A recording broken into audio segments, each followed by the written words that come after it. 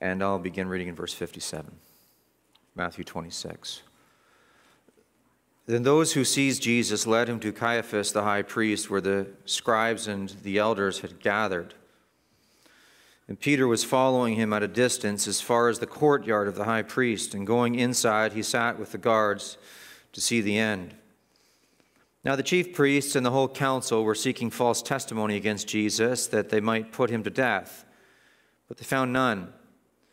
Though many false witnesses came forward, at last two came forward and said, This man I am able to destroy said, I am able to, this man said, I am able to destroy the temple of God and to rebuild in three days. The high priest stood up and said, Have you no answer to make? What is it that these men testify against you? Jesus remained silent. The high priest said to him, I adjure you by the living God, tell us if you are the Christ, the Son of God. Jesus said to him, You have said so. But I tell you, from now on, you will see the Son of Man seated at the right hand of power and coming on the clouds of heaven. Then the high priest tore his robes and said, He has uttered blasphemy. What further witnesses do we need? You've now heard his blasphemy. What is your judgment? They answered, He deserves death. And they spit in his face and struck him, and some slapped him, saying, Prophesy to us, you Christ. Who is it that struck you? Let's have prayer together. Father in heaven, we bow at this time and we do pray for your blessing upon the preached word as it has been read now.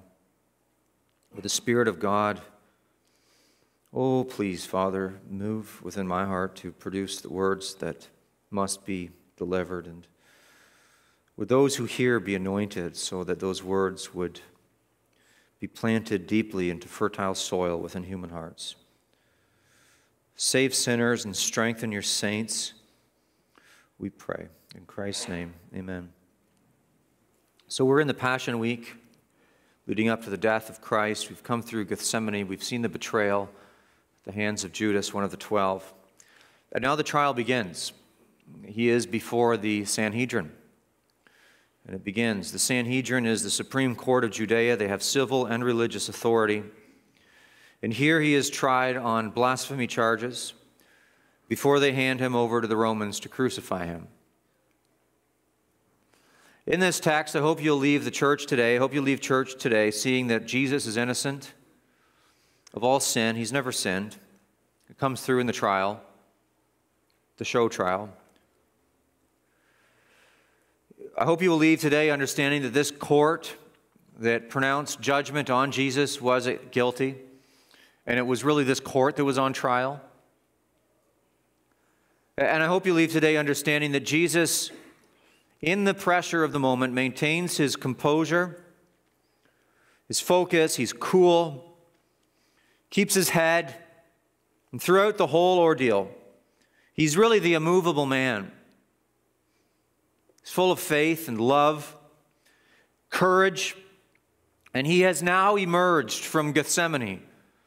The prayer in Gethsemane, he has now emerged from Gethsemane as our champion.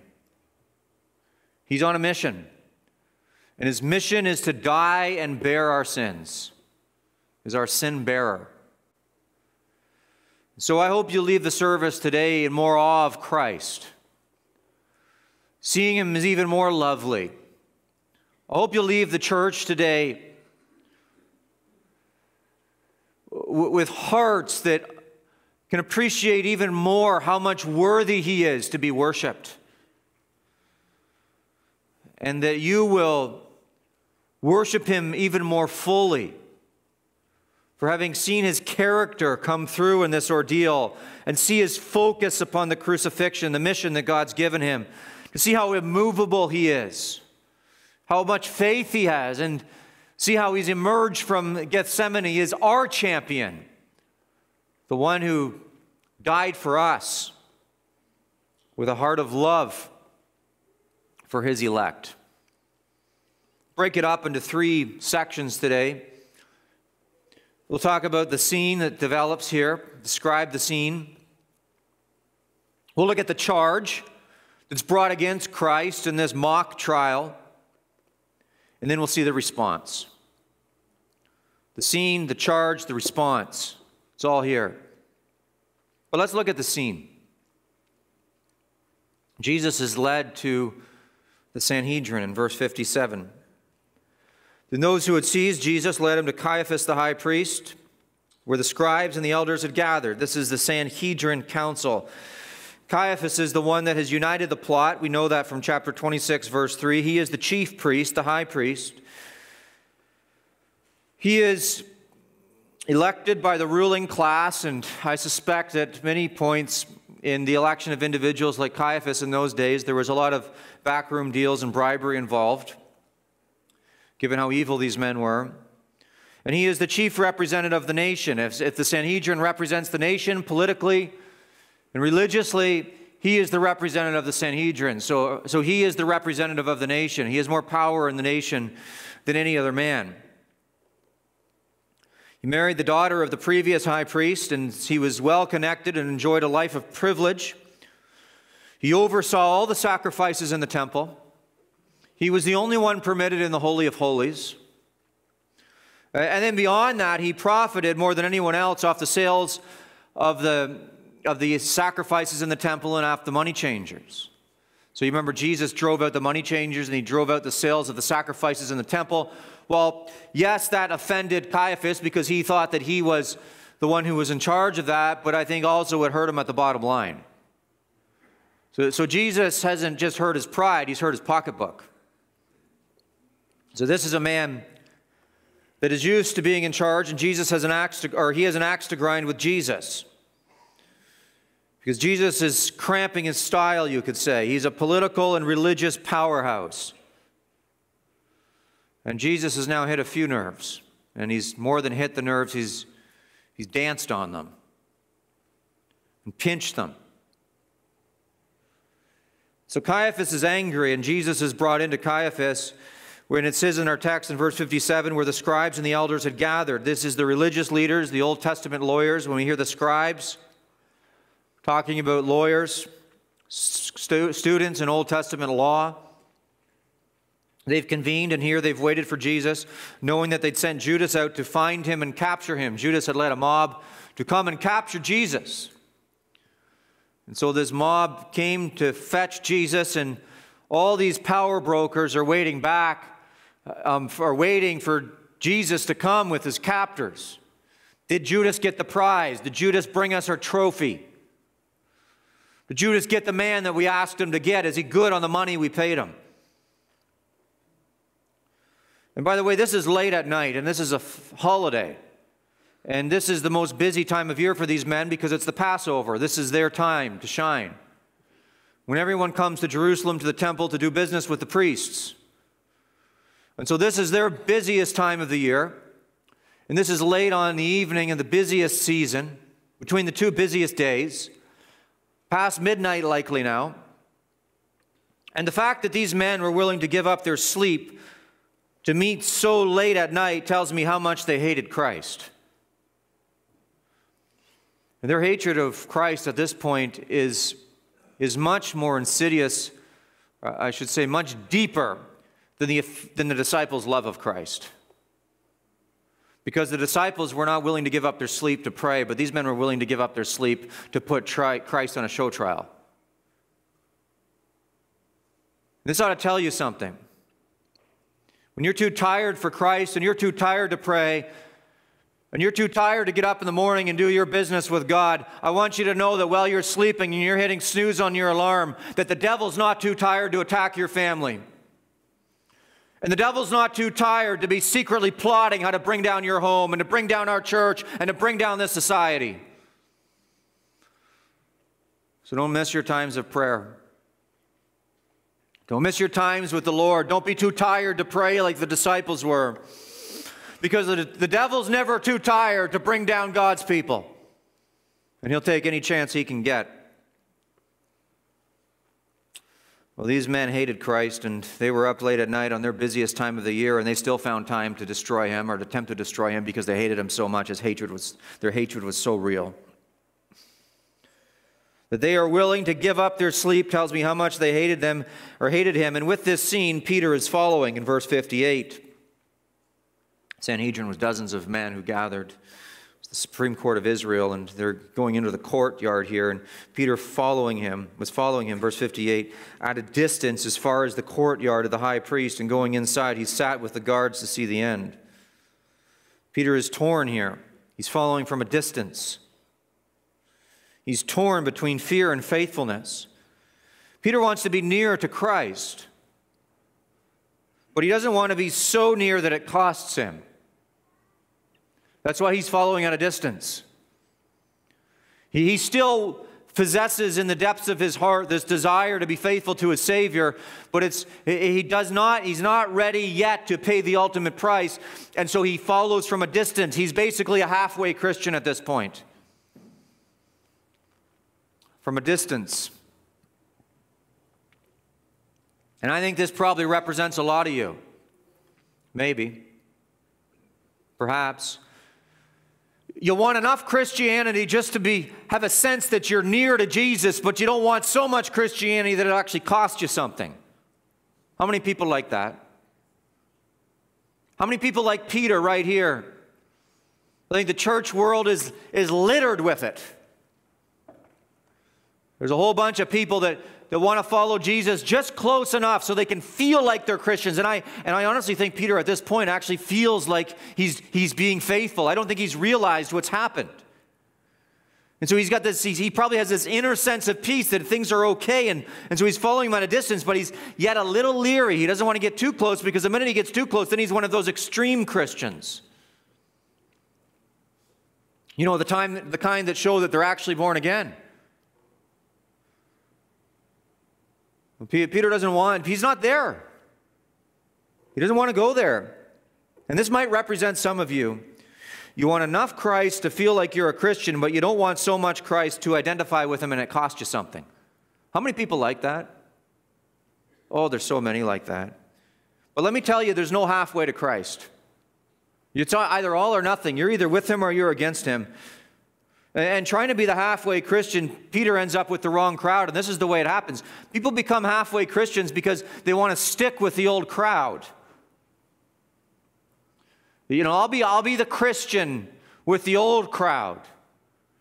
I won't be the Christian that identifies with Christ. I'll be the Christian with the old crowd. Look at what he does. And Peter was following him at a distance. We already talked about that. As far as the courtyard of the high priest, and going inside, he sat with the guards to see the end. He's more comfortable with the servants of Satan than the servants of Jesus Christ. These men are servants of Satan. They are the servants, as the, the word can be translated servants. These are the servants who care for and do the bidding of the high priest. The, the type of people who went and captured Christ in Gethsemane. These are the certain servants of Belial, the servants of Satan, the servants of the darkness. And, and, Peter, he, he, he wants to feel like he's a Christian. He wants to feel like he's close to Jesus. So he follows him at a distance, but he's most comfortable sitting down with the servants of Satan. This is very dark. And it's very evil. He was more comfortable with the servants of Satan than he was being close to Jesus. He wanted to keep his distance from Jesus, but he was okay sitting down right beside and having fellowship with the servants of Satan. And there's so many people around today, and what they say is, well, Jesus spent time with the drunkards and the prostitutes. Why can't I? Yeah, when Jesus was with the drunkards and the prostitutes, he was calling them out for their sin. And he was bringing them out of darkness. Well, Peter here is stepping into darkness and you want to go to the parties and you want to go to the raves and you want to go where people are smoking dope, well, guess what? You're just like Peter here. You might think in your heart that you're a Christian, but you're not identifying with Christ. I'm following him from a distance. Peter's deceived himself. I think he actually thinks things are okay at this point in time. They're not okay, they're terribly wrong. And the minute you start going down this direction, the minute it, that's, it's all over. Charles Spurgeon commented and he said, When a servant of Christ has his own choice, by his own choice sits with the servants of the wicked, sin and sorrow speedily follow. John Trapp said, Evil company is a contagion, or it's contagious, and sin more catching than the plague. John Trapp lived at a time when there actually were plagues circulating. He understood a thing or two about them. When the plague came into town, people just start dropping dead. 40, 50, 60% of the town dies. It's contagious, a real contagion. And this is the way it works. If you're following Jesus from a distance, what's happening is, is you are, you're catching the contagion, and it's more contagious than the plague. Halfway Christians find more camaraderie with non Christians than full Christians, and they end up no Christians. It's a dark road. Who are you hanging out with? Who are you spending your time with? Whose company do you enjoy the most? If it's the company of the people that tell you the truth, the people that walk in holiness, the people that make you feel a little bit uncomfortable because, because they've forsaken sin and they're full way Christians, then that tells me something. But if, if your, comp, your, your company you're most comfortable with is the ones that are servants of Satan, then uh, there's a serious problem with your soul. You've caught the contagion. Who you hanging out with? Who you want to date? Who you attracted to? Who, who are the people that you enjoy being around? You know, I, I, I kind of wish, having looked at this text and parked myself here now for a few minutes, I kind of wish I just preach a whole sermon on this one little text. This is so serious. And you say, why are you getting so worked up about this? Because I see it happen again and again and again and again. How many times I've seen this happen? Oh, somebody wants to be the halfway Christian. Oh, I'm not going to take my Christianity. That's how I'm going to be a good witness in the world. And then all of a sudden, oh, all of a sudden they're sitting down with the servants of Satan. And then all of a sudden they're acting like the servants of Satan. And all of a sudden their world starts caving in. And then all of a sudden I hear about it and I'm praying for you.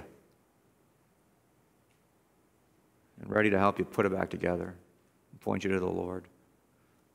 I've been here 13 and a half years. You know how many times I've seen this? Why do I get so worked up about this? Because I know what it does. I know the destruction it brings. I know the terror it brings to homes and families and people and lives. When I want to be the halfway Christian because I think it's okay and they're in control and they can get away with it. I'll tell you something, you won't get away with it because it's a spiritual disease that you've caught. And the only way out of it is to become a full way Christian, to fully embrace Jesus Christ. And this is the scene. This is the scene. It's a dark scene. Be a halfway Christian, leave that halfway Christian life now and become a full way Christian. Become to Jesus Christ. Say, Well, I already have. Well, if you're following him from a distance and you're sitting down with the sons of Satan, then no, you're not showing the fruit of the Spirit of God. No, you're not. Thankfully, God redeemed Peter. He came out of it. He was restored after his backsliding, but he never redeemed Judas. And if you're in the middle of being the halfway Christian sitting down with the sons of Satan, you don't know whether you're a Peter or a Judas yet. And you might not find out till it's too late. So come back now and show that you're a Peter. Peter did. This is the scene. Jesus on trial with the Sanhedrin late at night, and Peter walking from a distance, sitting down with the sons of Satan. That's the scene. It's a dark scene. Jesus is all on his own. Our Savior has been abandoned. Nobody is with him. And he's sitting in front of the power brokers. And, and the power brokers have a goal. And you know what the goal is? This is my next point. They have a goal, an objective. They want a guilty verdict. They want a guilty verdict. This is not a real trial, friends. It's a fake trial, it's a show trial. It's pure pageantry. It's all religious and political and legal theater. They've not convened to find the truth, but they've only convened to shut Jesus up. That's the only reason they convened. And there's a lot of people like this. They come under the pretense of finding the truth, but really the only reason that they've gathered or that they come is because they want to find a way to shut Jesus up and silence the inconvenient noises that keep going off in their consciences. That's too much of a bother for them. And so they want to find a reason to kill him. Verse 59. Now, the chief priests and the whole council were seeking a false testimony against Jesus that they might put him to death. Like, this is an effort they're putting into this. And giving the money that's already exchanged hands and has provoked Judas, the 30 pieces of silver, we shouldn't be surprised if some of these witnesses were hired for the job. They're running through the list of witnesses, how many of these witnesses were hired for the job? How many of them? Well, I don't know. But when you have a corrupt society, a society that's this corrupt, there's probably a lot of them. In fact, Proverbs chapter 29, verse 12 says, If a ruler listens to falsehood, all his officials will be wicked. Every one of them. So, so there's an immediate application to our own society. Our, you know, how many lies do our rulers listen to? And that tells me a little bit of something about the hearts of our rulers and the hearts of the people that work in high office in this country. The overwhelming majority are corrupt to the bone and beyond, right down into the marrow. These types of people, how many of them hire false witnesses, false experts, false people who are okay lying for a couple bucks over and again? over and again. And that's what's happened here. They need some false witnesses. And they're unsuccessful, however, which proves the innocence of Christ. Even with all these liars they've gathered around them, they're terribly unsuccessful because look at what it says, but they found none. Verse 60, they found none. Though many false witnesses, I don't know how many is, but it's a lot, came forward. They found none. They're unsuccessful. It demonstrates the innocence of Christ. They, they, they, had all this power, they had all this money, all this following, all these people that, that basically want to be a bunch of sycophants around them. And they can't find a false witness, or a witness that can stand at least. So Jesus is innocent. But then two witnesses come forward. At the end of verse 60, two false witnesses come forward. At last, two came forward, verse 61. Then, verse 61, and said, This man said, I am able to destroy the temple of God and to rebuild it in three days. They paint him basically as a domestic terrorist and are a sorcerer. You have this beautiful edifice, the temple, that's taken so many years to build, and it's this prominent feature in Jerusalem up on a mountain. And what they've done is they've said that Jesus says he can tear it down in three days and build it up again.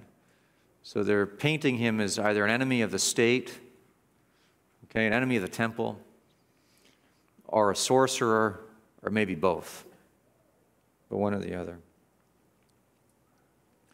And what they've done is they've taken what he said about the resurrection and they've twisted it because how many times in the Gospel of Matthew has he said that he'll rise after three days? chapter 12, verse 40, chapter 16, verse 21, chapter 17, verse 23, chapter 20, verse 19.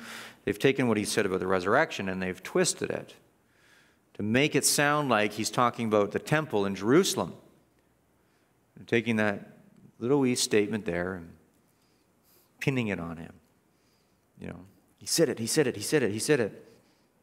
But they're frivolous claims and they know it. They're absolutely frivolous. It's pure folly. It's a waste of time. It's a waste of energy. It's a waste of words. These claims mean absolutely nothing. And the high priest manufactures a bunch of excitement and stands up and he demands an answer after these you know, charges come forward that Jesus says he's going to tear down the temple, or he says he can tear down the temple and raise it up in three days.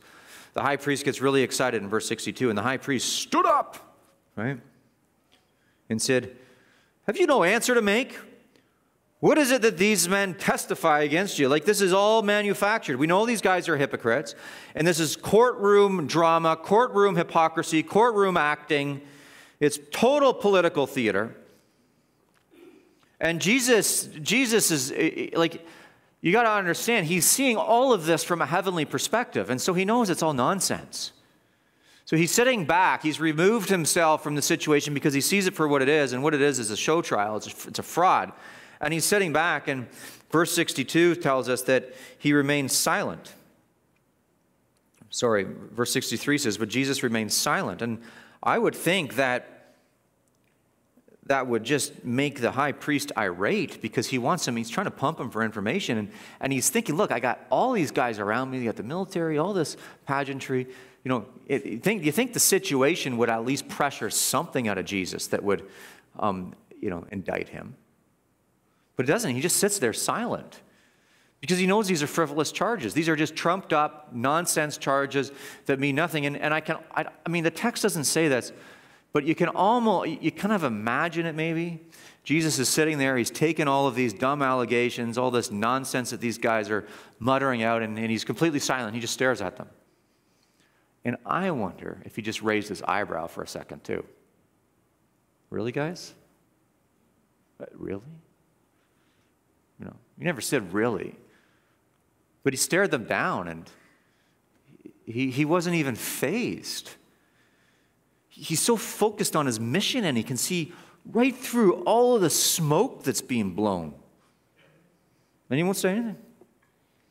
So sometimes there's a time to speak, and sometimes there's a time to remain silent. This was a time to remain silent because the charges were so frivolous, it's not even worth answering. And sometimes it's, that's the way it is. People say such nonsense about you, it's not even worth responding to. But he does respond eventually. You go on a little further. Verse 63 Jesus remains silent, okay. And then the chief priest is getting frustrated, weak charges. And then you can see the frustration boiling over in the high priest in verse 63 at the end of it. And the high priest said to him, I adjure you by the living God, tell us if you are the Christ, the Son of God. So when he says, I adjure you by the living God, he's trying to invoke the language of oath. And so he's trying to bring Jesus under an oath to, to make a point. And he's, in one sense, he's trying to manipulate his conscience by invoking the name of God here. And, and godless people will do this if you haven't noticed. If godless people want to get what they want out of God's people, they will try to manipulate their consciences. They have no consciences, the, the godless do, but they know that the righteous do, and so they'll try to manipulate their consciences. So I think that's, he's trying to do that with this, I adjure you by the living God's talk. It's amazing how they do this. Verse 63 goes on. He says, Tell us if you are the Christ, the Son of the living God. And so Jesus has been quite quiet about this, this, the Christ, the Son of the living God. In fact, really the only time I think we've heard this phrase, the Christ, the Son of the living God, is Peter in verse 16 of chapter 16, is Peter confesses that Jesus is the Christ, the Son of the living God. And then Jesus acknowledges that he is so. And then in verse 20, Peter, Jesus tells the disciples to, to you know, put a lid on it. Don't talk about it. Because at that point in time, it wasn't time for him to be crucified. And so in chapter 16, verse 16, Peter acknowledges that Jesus is the Christ, the Son of the living God. And then Jesus says, you know, don't talk about it in verse 20 to the 12 disciples because they kind of heard the confession. But then here comes the exact same phrase out in the Sanhedrin trial. Now, do, you, do anyone want to guess how that confession made its way to the Sanhedrin when Jesus told the 12 men who heard it back in chapter 16 to be quiet? So, so back in chapter 16, Peter confesses, You are the Christ, the Son of the living God. So I, don't, I don't think it's ever said again in Matthew like that. It's the exact same phrase. All the disciples hear it, all 12 of them. Jesus says, Keep your lips closed. Don't talk about it because it wasn't time for him to die yet. But now, this statement, you are the Christ, the Son of the living God, has somehow leaked out of the 12 and it's surfacing in the Sanhedrin. How do you think that happened? Well, there's that little sneaky rat, Judas, that little weasel. He's, he's, he's revealing all the secrets here. There's a little weasel that made his way into the Sanhedrin, and for 30 pieces of silver, he's giving them all the information they want. And so, who's the one that's the source of these charges against Christ that he's the Son of the living God, the Christ, that he's made these claims about himself, but that little weasel, Judas the traitor? Well, anyway, it's not like it's a really serious accusation because he is the Christ, the Son of the living God. I mean, they saw the triumphal entry, right? That's a claim to being Christ. They saw the children singing about him in the temple. Hosanna. Blessed is he who comes in the name of the Lord. He called down the woes on the Pharisees. He taught them in the temple. He overturned the tables in the temple. He said that his, that's his house, the temple, his father's house. And so they're, they're bringing this judgment down or this indictment down against Christ, But what they're indicting him for is who he is, and that's the Christ, the Son of the living God, which is the irony of the whole thing. They can't find anything on him. You think they could find at least one? They're nothing. And so what they have to indict him for is this finally they've been they've had this card in their back pocket and they pull the card. Yeah, we know what's going on here because Judas gave us the inside information. Here's the statement you made. Look out. Now we got you.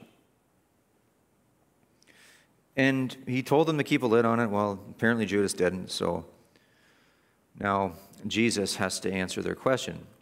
Verse 64 Jesus said to him, You have said so. Now, some people. Some people come to the trial of Christ and they're like, see, Jesus kept silent. Jesus kept silent. Jesus kept silent. We shouldn't answer allegations against us. Jesus kept silent. No, he kept silent on one charge the stupid, frivolous one. But, but when it came to the charge that he's the Christ, the Son of the living God, do you see what he does? They say, Is it? Yep, it's true. He's not afraid of them.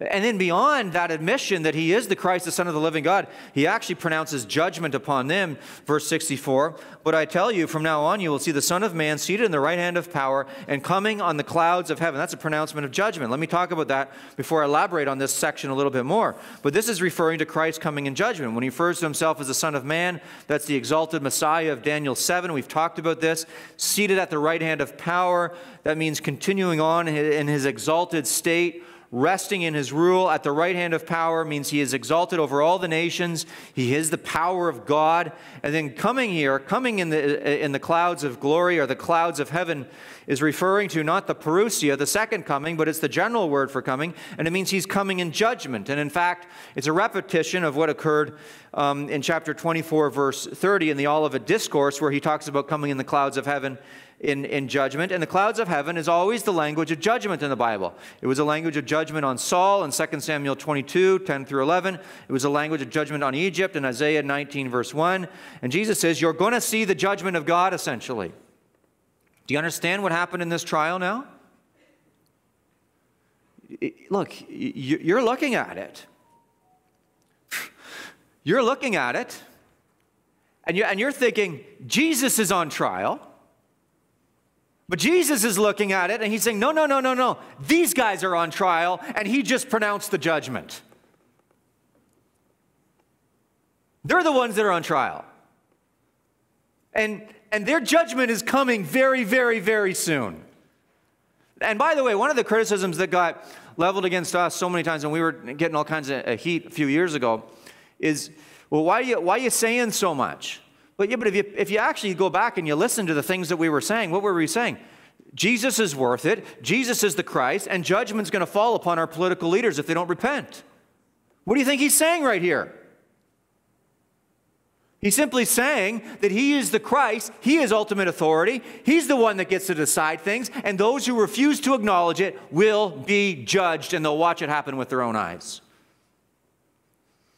Hey, Every verdict that we need to know about has now been made. It's been rendered. And they, they've, these guys have come out of this trial guilty. You will see, Jesus says, they will see the witnesses, or they will witness their own destruction and demise. And this is talking about the destruction that will come upon Jerusalem in 70 AD. Because it was, the same phrase was used in the Olivet Discourse. The destruction that's going to fall upon Jerusalem, they are going to witness it. Their children are going to witness it. The Romans are going to come in. They're going to burn the city to the ground, and it's going to be a bloodbath. And then they'll know that Jesus was right. And when we stand before people in this world and they want to put Jesus on trial or they want to put righteousness on trial, we can stand and we can be just we can be Christ-like just like this and we can assert the supremacy of Jesus Christ, and if those who are in authority would like to rule against his righteousness, then there is a cost to be paid by them. And it will come. And just as, as Jesus was vindicated in 70 AD for his words, so he will be vindicated uh, uh, as, it, as it pertains to the judgment that will come upon those people who reject his rule. It'll happen in our own society the judges and the prosecutors that want to put us on trial, and the politicians that have, the media that have tried to shame us. And it will happen again and again and again throughout the history of the church. Those people who will not bend the knee to Jesus, he will break their knees if he has to. But he'll do it. and they will pay with judgment. It's never righteousness that's on trial. It's never Christ that's on trial. The entire world is on trial right now. And those who refuse to repent already stand under the curse. The indictment's been made. And, and you know, let's just, let me just picture him standing before the court. They ask him if he's the Christ, as if that's somehow supposed to embarrass him. And, and he's like, Yep, I'm the Christ. and not only does he admit it, he says, And you're going to pay. Judgment's coming, and you're going to watch it. You see how unintimidated he is with these people? Because he's removed himself from the situation so that he can see it from a heavenly perspective through the eyes of faith, and he knows exactly what's going on in the heavenly realm. And this is how we should see the world. He's never on trial. His righteousness is never on trial. His law is never on trial. People only delude themselves into thinking that it is. They're on trial, and every one of their actions is being recorded. Everyone, no, no, watch, just, just to emphasize this a little bit more. Let's look at verse 64 again. Jesus said to him, You have said so, but I tell you, from now on, you will see the Son of Man seated at the right hand of power and coming on the clouds of heaven. Did you see how many times the word you is spoken? Three times. See? You have said so. That's his admission that he's the Christ. But I tell you, from now on, you will see the Son of Man. So the word you you don't see this in the English text, you see it in the Greek. The word you in verse 64 is used singular because he's answering the, the chief priest directly. It's a direct answer to the chief priest. The chief priest is asked, Tell us if you are the Christ, the Son of the living God. So he answers him directly, looks him in the eyes, and says, You have said so. But now he's got a captive audience. And so, as you probably have guessed by now, the next uses of the word you are not you singular, but are you plural. And so his indictment, his pronouncement of judgment is upon the entire Sanhedrin, that everyone that's, that's listening to him. And he, he basically stands up and he's like, hey, I got a captive audience. I'm preaching another sermon. And that's exactly what he does. But I tell you, plural, all of yous, from now on, every single one of yous will see the Son of Man seated at the right hand of power and coming in the clouds of judgment. You're all going to pay. You're going to pay a price for what you're doing right now, you dirty dealers, you. That's, that's how it's going. So he answers the high priest directly, and then he turns his sights on them all and basically goes into a sermon, and it's a hellfire and brimstone sermon. For those of you who don't like those types of sermons, that's what it was. Okay? And they came in looking for a guilty verdict. They think they got one because he admitted he's the Christ. Big surprise. We all knew that. The best they can do is to get him to admit who he actually is. But he is unmoved by their power. He's unmoved by their shenanigans. He's unmoved by the mock trial. And he renders the most important verdict of the entire day, and that's that every single last one of them is guilty and they're going to pay. When the world judges us with their man made rules for being Christian and holding to Christian convictions, we learn from Jesus here we cannot be intimidated. We must see it through the eyes of faith, and we must be absolutely clear in what we believe. And when the world stands in judgment over us, we must remind them that Christ stands in judgment over them. And what about you? Where do you stand as it relates to God? You come to church today thinking you're standing in judgment over Christ? Ah, this Christianity thing, man, they're such a bunch of narrow minded bigots.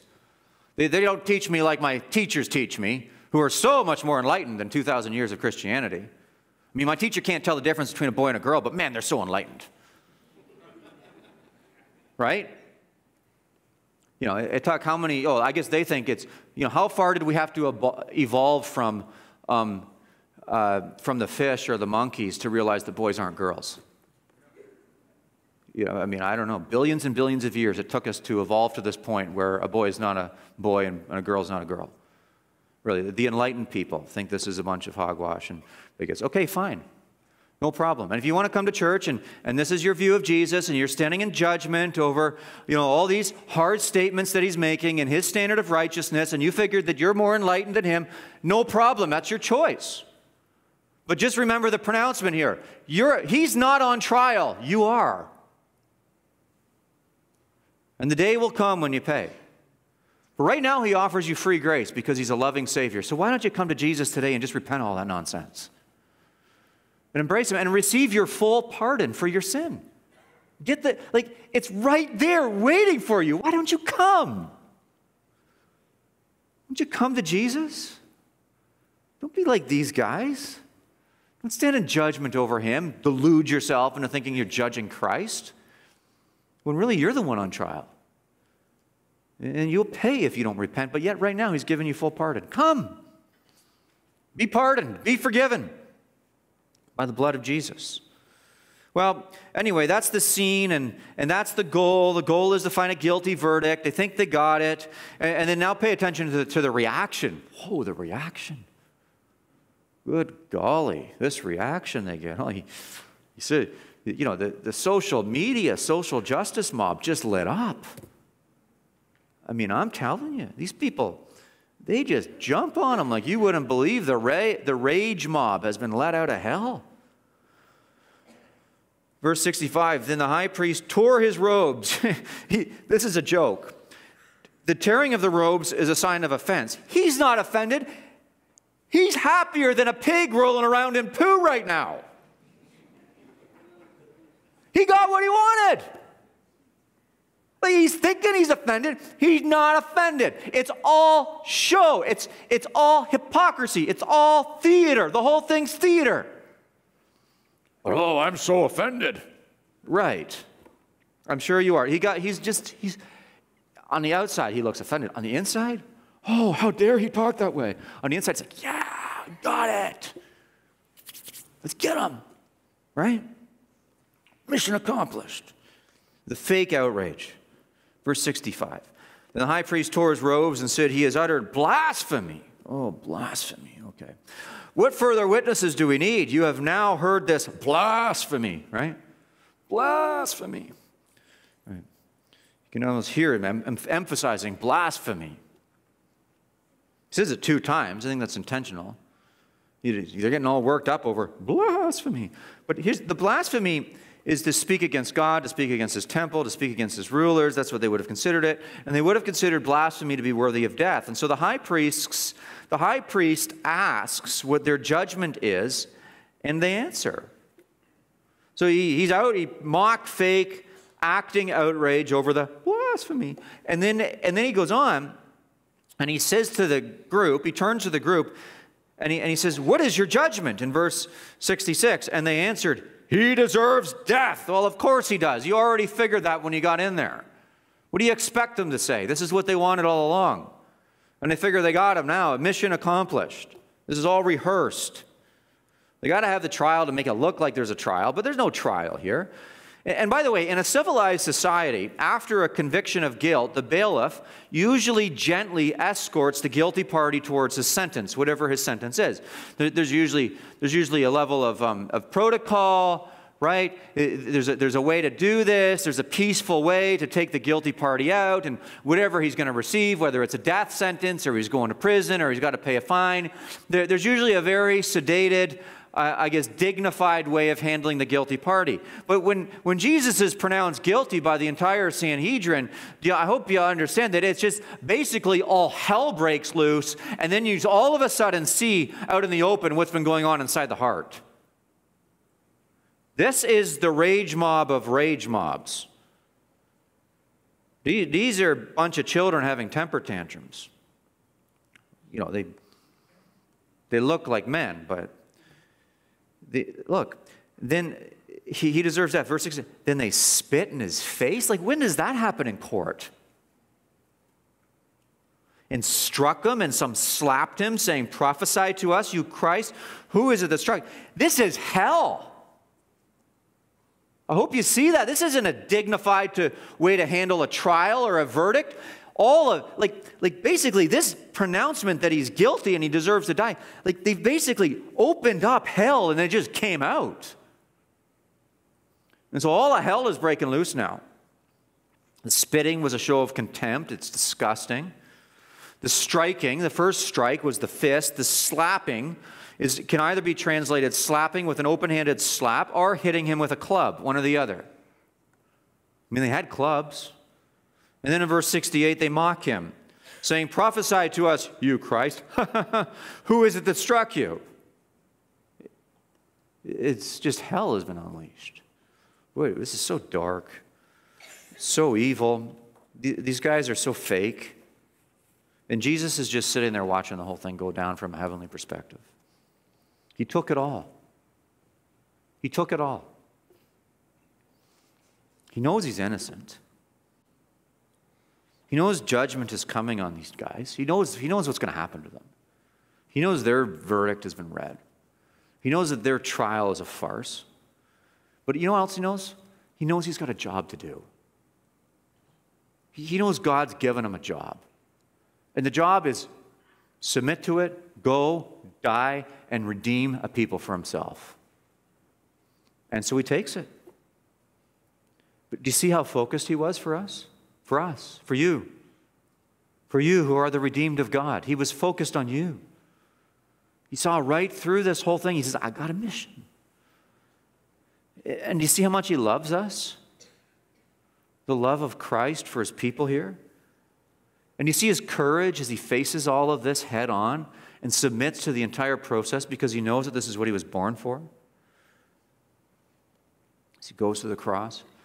And, and do, do you see how worthy he is of our worship and love and affection? How lovely Christ is? See how worthy he is? He receives it all for us. He's emerged from Gethsemane as what? He's emerged from Gethsemane as our champion our champion. Nobody else would do it. So he did it. And all his friends have forsaken him. And he takes on all of our sin by himself, is our holy, righteous, all powerful, courageous, and faithful champ. That's Christ. So I hope as you sing to him and as you worship him, you worship one who you know and truly believe is worthy. And you treasure him above all else because he is worthy. He died for us. He was focused on our redemption.